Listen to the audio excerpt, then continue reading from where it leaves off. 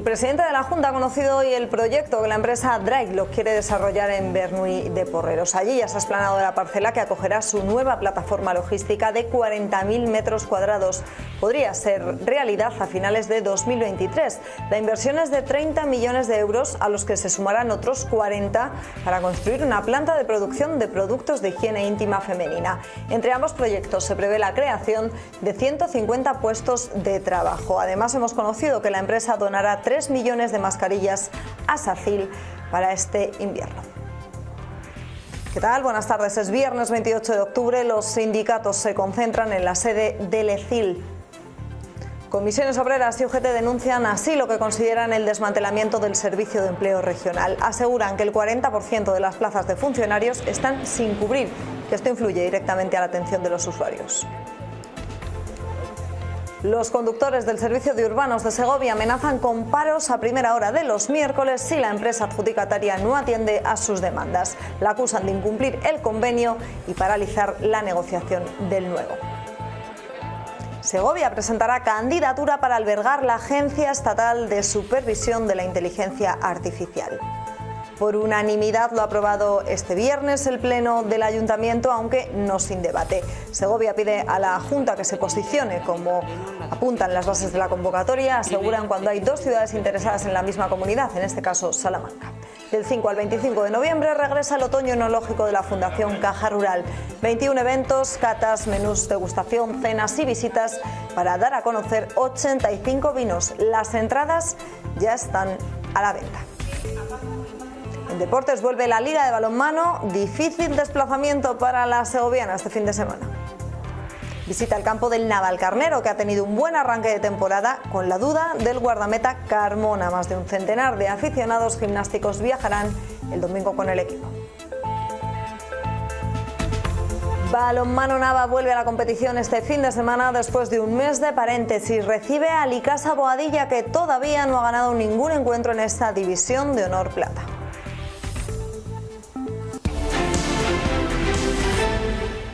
Con la presencia del presidente de la Junta, Drylock ha presentado hoy su nuevo proyecto para la provincia, una plataforma logística de 40.000 metros cuadrados, donde también levantará una planta de productos de higiene femenina. Será la plataforma más moderna de la compañía en toda Europa. Victoria Domínguez. En esta parcela del polígono Los Itales, en Bernuy de están completando los trabajos de explanación de los terrenos y tan solo falta la licencia de obras por parte del ayuntamiento para comenzar a construir la plataforma logística en la que se van a invertir 30 millones de euros. Y el otro proyecto para esta parcela es una factoría de higiene femenina con otra inversión de 40 millones de euros. En total se quieren crear 150 puestos de trabajo. Pendientes de los últimos informes para conseguir la licencia de obras, la plataforma logística de 40.000 metros cuadrados, el 50% automatizado completamente, podría ser una realidad a finales de 2023. Una plataforma logística de última generación significa para nosotros tener la trazabilidad bajo control. Esta va a ser la plataforma más grande que va a tener Drylock en Europa. La inversión en la plataforma es de 30 millones de euros y otros 40 están previstos para el segundo proyecto, una planta de productos de higiene femenina.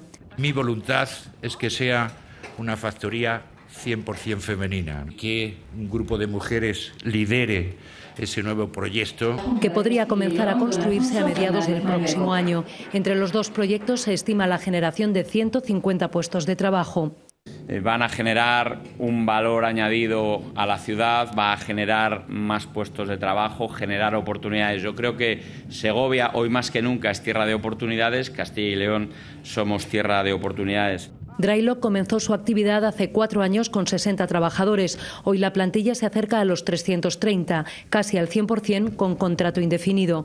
La facturación prevista para este año, 110 millones de euros, se ha alcanzado ya en octubre, por lo que se espera acercar a los 135 a finales de 2022. Buenos días.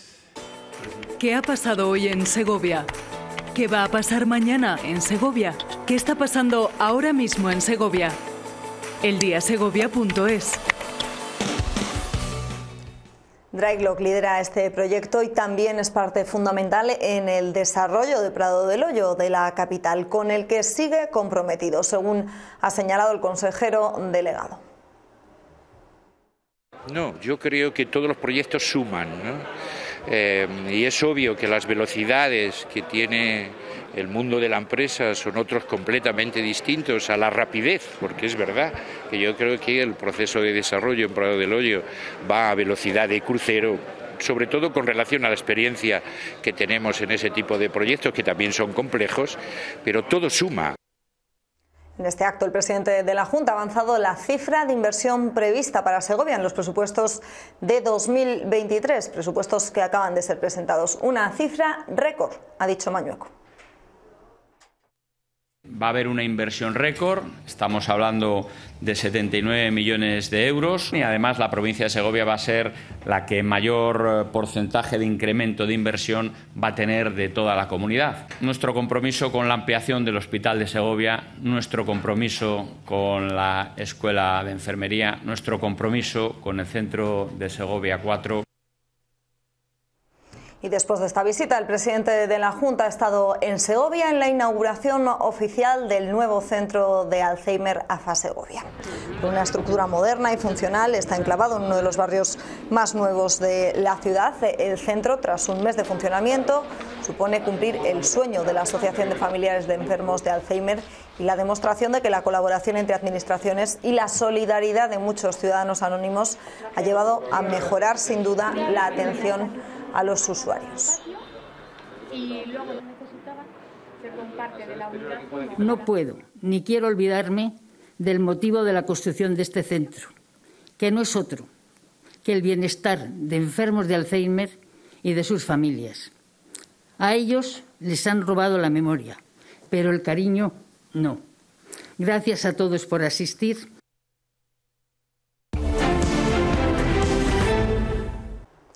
La Junta está ultimando el convenio con Renfe para aplicar las bonificaciones del 25% a los trayectos de media distancia.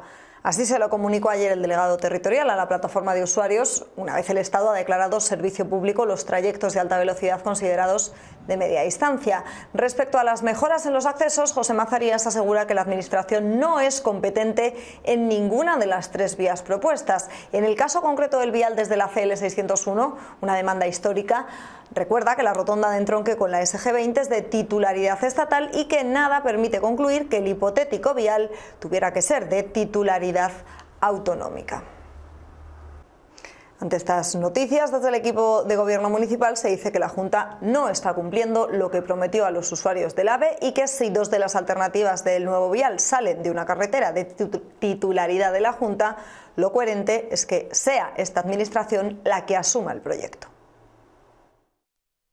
Uniría una carretera de competencia de la Comunidad Autónoma de Castilla y León con la estación del AVE. Por lo tanto, eh, la coherencia está en la propiedad de las vías que se unen a la estación del AVE. Entiendo la frustración de la plataforma del AVE, sobre todo cuando nos dicen que hace unos meses eh, el señor Mazarías, delegado territorial de la Junta, les dijo, si la alcaldesa nos pide el vial, el vial le tendréis. Cuando la alcaldesa va al presidente de la Junta de Castilla y León, Alfonso Fernández Mañueco, a pedir este vial, lo que recibimos del presidente Mañueco fue alcaldesa, sobre este tema solo te puedo dar cariño. Y el señor Mazarías estaba allí presente, agachando la cabeza y aceptando ese cariño del presidente. El Ayuntamiento pide a la Junta que se posicione en otro asunto porque el Pleno ha acordado hoy por unanimidad presentar la candidatura para albergar la sede de la futura Agencia Española de Supervisión de Inteligencia Artificial, a la que también es candidata otra ciudad de la región, Salamanca. También ha habido acuerdo en este Pleno de todos los grupos para revisar y actualizar las ordenanzas municipales y reforzar el control de plagas de palomas. Por unanimidad, pero no sin debate, se aprueba que Segovia presente su candidatura para albergar la Agencia Española de Supervisión de Inteligencia Artificial. Se pide a la Junta que se posicione, como exigen, dice la alcaldesa, las bases reguladoras de la convocatoria. Ahora que hay más solicitudes, pues que priorice. ¿Qué prioridad es para el señor Mañueco? ¿Segovia o Salamanca? Ya tenemos demasiados antecedentes de falta de lealtad institucional en esa cuestión. Dígame con quién se ha posicionado la Comunidad Valenciana, si con Elche o Alicante, con quién se ha posicionado Andalucía. Sale adelante con la extensión de PP y Podemos la propuesta de la búsqueda de la mejor fórmula de gestión para hacer de una vez por todas realidad el CIDE. A ver si puede ser que en julio de 2023 alguien pueda de verdad inaugurar el CIDE. Me he levantado para compartir cosas con la señora eh, Otero. Señor Pérez, si está a favor de que esto continúe adelante, vote a favor. Nosotros nos vamos a abstener porque no creemos tanto en los milagros. El Pleno aprueba también de manera unánime la petición del Grupo Popular para un refuerzo del control de las plagas de palomas en la ciudad y para revisar y actualizar todas las ordenanzas del Ayuntamiento como plantea Ciudadanos. La ordenanza del mercado de la albuera, que es de 1986, la de limpieza urbana, que es del 1984. Reglamentos y ordenanzas de hace más de 30 años cuyos precios figuran todavía en pesetas. Pero comparándola con Valladolid, en materia redistributiva de energía eh, verde y de justicia social es auténticamente envidiable. Y en Segovia estamos muy por detrás. También se ha aprobado la moción de Podemos con la que se plantea dotar de un espacio deportivo al barrio del Cristo del Mercado y hasta que sea realidad que se abra por las tardes el patio del Colegio Villalpando. El PP alertaba ayer de la posibilidad de que Segovia se quede sin fondos europeos para la remodelación del campo de la Albuera por no tenerlo registrado como propiedad municipal. Hoy el portavoz del Grupo Socialista aclara que creen que es suficiente con que esté incluido en el inventario de bienes. Este es un ejemplo más de la deslealtad que nos tienen acostumbrados. Primero lanzan la acusación y después tratan de enterarse o de preocuparse de cómo está. Las administraciones públicas no acreditan solo la titularidad de un bien mediante un registro de la propiedad, mediante un certificado del registro de la propiedad, tiene otros mecanismos. Y el básico y fundamental es que esté en el inventario municipal de bienes. Tanto el complejo deportivo de la Albuera como el CIS La Albuera están dentro de ese inventario. Por lo tanto, eh, está garantizada la acreditación de esa propiedad. Los conductores de los autobuses urbanos se han concentrado esta mañana en la Plaza Mayor para denunciar su situación. Los incumplimientos de la empresa denuncian adjudicataria en el convenio actual y la ruptura de negociaciones respecto al nuevo. Esperan a que el SERLA se pronuncie, pero no descartan paros los miércoles a primera hora si no se escuchan sus demandas. Con esta concentración, los conductores del servicio urbano de autobuses ponen el foco en los incumplimientos de la empresa en relación al convenio actual. Sobre todo, dicen, en cuanto a horarios y seguridad e higiene en el trabajo, pero también denuncian la ruptura de las negociaciones en relación al próximo convenio. Por ello se ha acudido al SERLA. Eh, los trabajadores solicitan a la empresa que no se parta de cero en la negociación colectiva del futuro convenio, sino que se parta del convenio ya existente. Por su parte denuncian que la patronal quiere iniciar un nuevo convenio incluyéndoles 100 horas más de trabajo y la supresión de algunos pluses que ya tienen consolidados. Quieren ampliar 100 horas de jornada a mayores y quieren quitarnos pluses que tenemos de siempre, como el plus de, vinculación eh, asociado a la antigüedad y otro tipo de cuestiones. En, teoría, lo, que la empresa un poco pretende es abaratar, abaratar el servicio, abaratar el coste que ellos les supone el servicio para tener más beneficios si la cosa no se resuelve, habrá que ir a paros. Nosotros estamos convencidos. Los baños, según el pliego de condiciones, tienen que estar operativos los 365 días del año. Y no es así. Tenemos baños de cabeceras que no tienen agua corriente para lavarnos las manos. Entonces, eso está denunciado a la empresa desde hace más de un año. Los sindicatos UGT y comisiones obreras se han concentrado hoy ante el Servicio de Empleo de Segovia. Frente a las puertas de la Oficina de Empleo en Vía Roma han querido denunciar la situación laboral de sus trabajadores, que responde, a su juicio, a un intento de desmantelamiento del Servicio Regional de Empleo. De las más de 60 plazas de funcionarios existentes en Segovia, aseguran los sindicatos, el 40% siguen sin cubrir aproximadamente 22 plazas, lo que influye directamente en la atención que reciben los usuarios.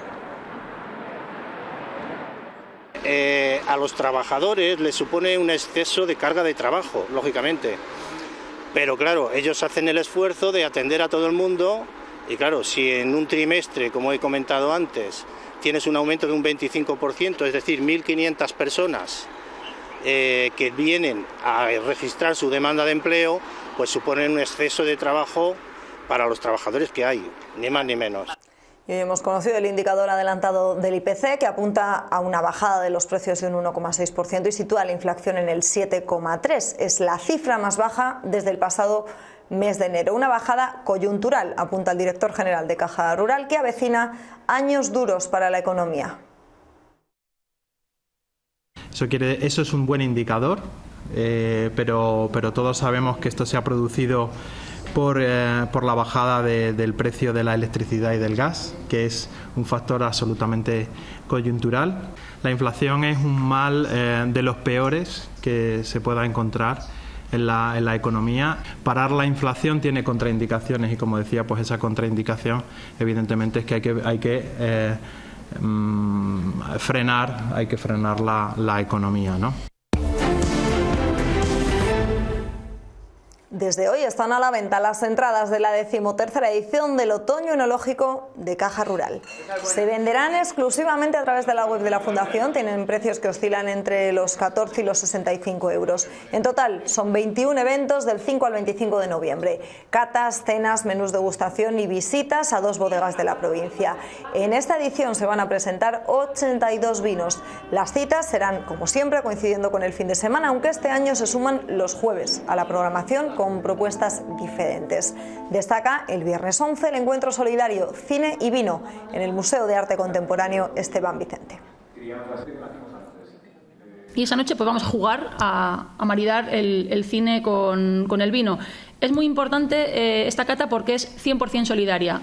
Tanto Malaparte como David Pinillos no han querido cobrar absolutamente nada por, por esta cata y el 100% de la recaudación de la venta de entradas eh, se va a destinar a Autismo Segovia.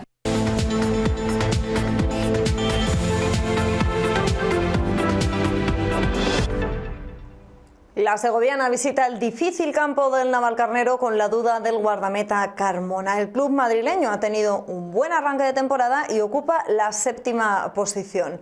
Por su parte, la segoviana contará con el apoyo de más de un centenar de aficionados.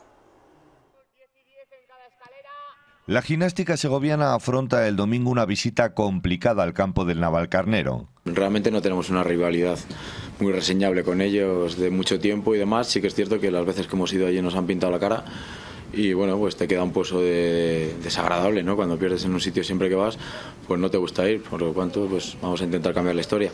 El equipo madrileño ocupa la séptima posición, aunque en casa ha sumado dos victorias y dos derrotas. Y luego, pues ellos, nada, muy buen equipo, lo están haciendo muy bien y además es un equipo muy agradable a la vista de ver por, por su propuesta futbolística y allá vamos nosotros con la nuestra. La gran competencia entre todos los jugadores está favoreciendo el juego del conjunto azulgrana. Sí, es un reto acertar. Ahora mismo, bueno, por suerte, es, como digo, siempre una bendición tener a los jugadores metidos al máximo y, bueno, recuperar a todos los que, los que estaban con un poquito de molestia, exceptuando Dani y, y Julen. Ante el Navalcarnero hay tres puntos muy importantes en juego. Eh, tenemos estos dos partidos muy en la cabeza. No creo que nadie esté pensando sinceramente en Melilla, pero sí pensar que podemos irnos muy bien a, al, al puente sacando buenos resultados estos dos partidos. El principal aspecto a mejorar es la defensa. La segoviana es uno de los equipos que más goles encaja. Los partidos se ganan por, por goles y es algo que todos tenemos muy claro que, que tenemos que mejorar. Eh, empezar a intentar encajar los lo menos goles posibles. La resonancia ha confirmado que Carmona no tiene ninguna lesión de importancia y podría incluso estar ante el Navalcarnero. Julen Pagola y Arribas son las únicas bajas. Y en balonmano, el Nava vuelve a competir este fin de semana después de un mes de paréntesis. El equipo navero recibirá al Icasa Boadilla sin margen de error. Los madrileños aún no han ganado ningún partido en esta división de honor plata. Un mes después de su último partido, Balomano Nava Vivero Serol vuelve a competir en la división de honor plata. Será una incógnita en qué estado volverá el equipo después de un paréntesis tan largo. Y bueno, para nosotros yo creo que, es una, una pausa en la que hemos podido yo creo que evolucionar en nuestro en nuestro trabajo del día a día, en ir afianzando nuestra base de juego, nuestro, nuestro sistema, nuestra propuesta y, bueno, pues espero que, que poquito a poco se vaya viendo ¿no? el buen trabajo que hacemos en, en los entrenamientos en, en los partidos de competición. Lo que está claro es que el Club Navero no puede permitirse más fallos. Por ahí hay que tener bueno, la idea de que, de que no estamos en un mal camino, pero, pero sí que es verdad que, que no podemos permitirnos muchos más tropiezos. Este sábado visita el pabellón Guerreros Naveros el Icasa Boadilla, un conjunto que aún no ha ganado esta temporada.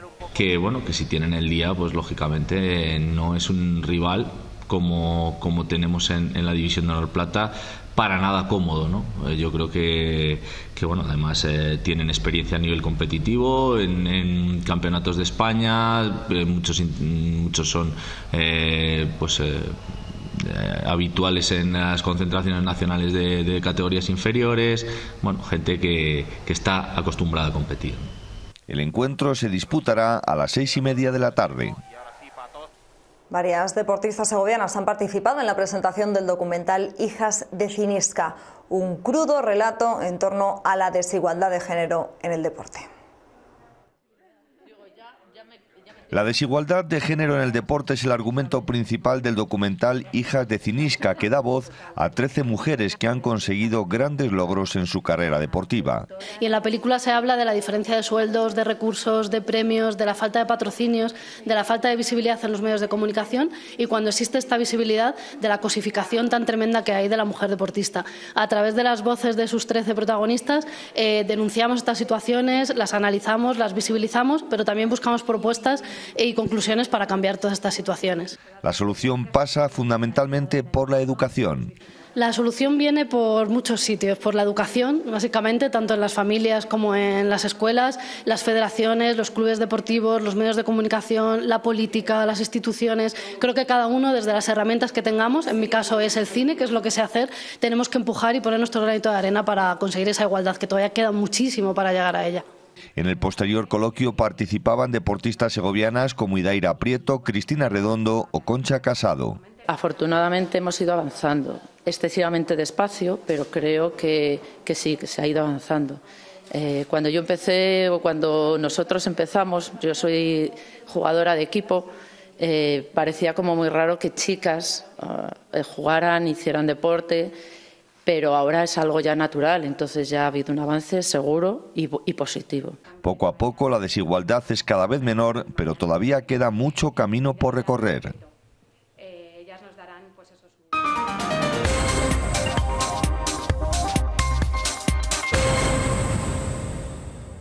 Así nos despedimos. Se quedan con el tiempo. Disfruten del fin de semana.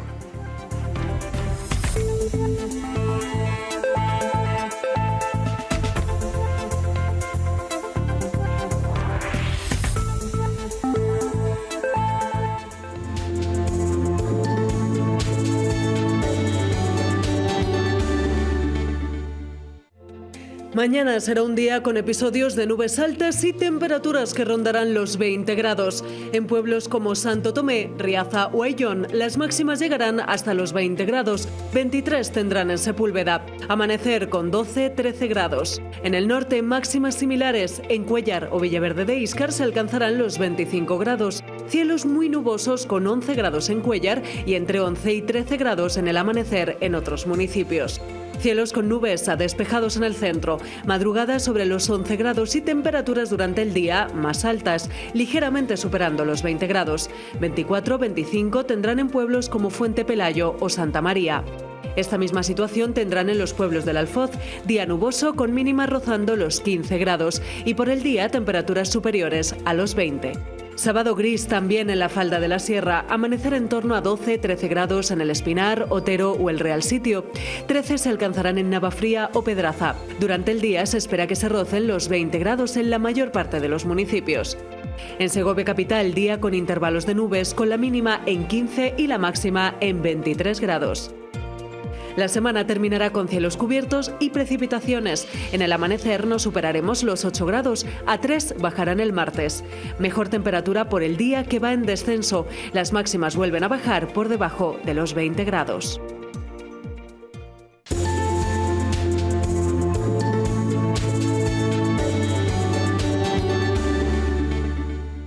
Toque los picos de la suerte y compre sus números para Navidad y para el sorteo del niño en la Administración número 1, abierta a mediodía, fines de semana y festivos, frente a la Casa de los Picos.